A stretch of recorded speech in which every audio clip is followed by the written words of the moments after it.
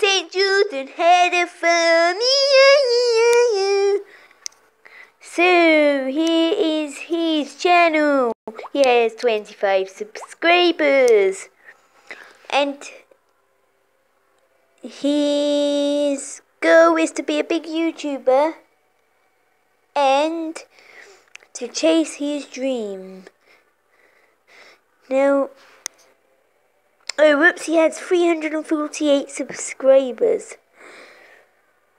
So please share his videos and try and please be positive and don't be bad on his channel. And he joined on the 29th of October 2015. So here are some of his videos. Subscribe to him. I believe he's a really good channel, so like, comment and subscribe and tune in for more.